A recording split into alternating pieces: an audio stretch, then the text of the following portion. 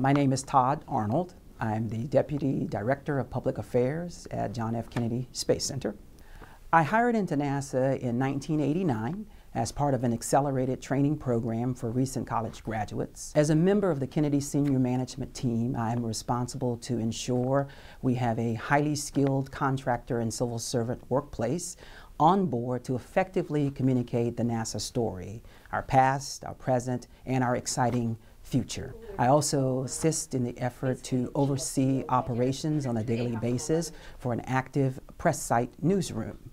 In addition, I provide strategic leadership and vision to a team of individuals who are responsible for an array of public relations uh, tools and techniques, including NASA television broadcasting, uh, also news and photojournalism, uh, web and social media presence, display uh, management initiatives, as well as uh, internal communications to the KSC workforce to help them remain informed so that they can be wonderful ambassadors uh, for NASA.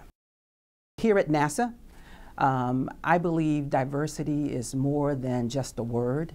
Uh, in fact, it is part of our core value system, uh, which to me means it's not just a few people who are concerned about diversity, but every individual uh, makes a difference and actively seeks out an opportunity to value the input of others at an individual level, whenever I join a team for the first time, I first seek to learn a little bit about the backgrounds and experiences and education of the individuals I'll be working with. Um, as a leader, I make it uh, a priority to um, initiate efforts that will uh, encourage individuals to partner and work together and leverage the strengths and backgrounds of others that are perhaps different from them.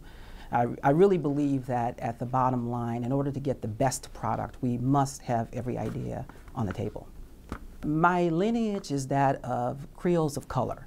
Uh, categorically, it falls within African Americans here within the agency, um, but uh, in reality, my ancestors are a mixed race uh, African, American Indian, uh, also European, um, primarily French and Spanish. Uh, coming from Louisiana, um, I have full appreciation for multiple cultures. And uh, here at NASA, I think I have a slight advantage uh, coming out of that lineage because at any moment I can actually look internally and see multifacets of, of, of contributions of, of cultures that are all going on inside of me.